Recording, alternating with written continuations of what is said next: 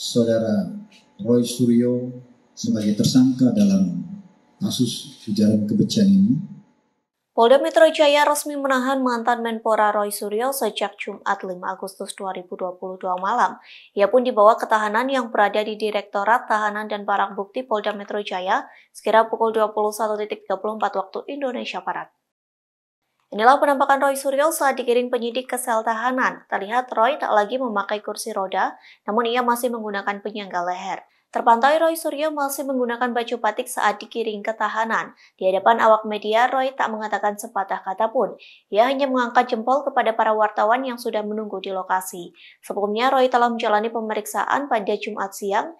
Dalam pemeriksaan itu, penyidik menanyakan alasan Roy Suryo ikut kegiatan touring komunitas mobil.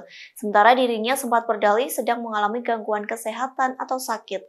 Bahkan touring tersebut dilakukan saat ia sudah ditetapkan sebagai tersangka penistaan agama. Hal tersebut disampaikan disampaikan oleh Kabit Humas Polda Metro Jaya, Kombes Endra Sulpan. Menurut Sulpan, masyarakat bisa melihat dan menilai sendiri soal kondisi Roy Suryo dalam video kegiatan touring mobil yang sudah beredar di media sosial. Penyidik memutuskan mulai malam hari ini terhadap saudara Roy Suryo Noto Dipojo, laki-laki usia 52 tahun, sebagai tersangka dalam kasus ujaran kebencian ini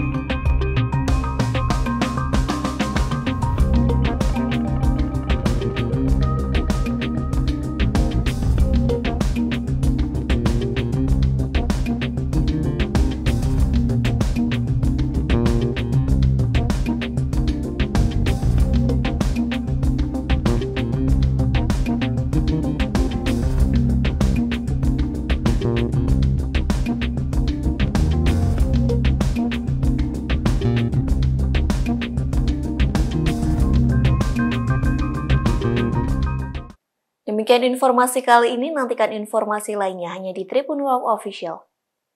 Terima kasih sudah nonton, jangan lupa like, subscribe, dan share ya!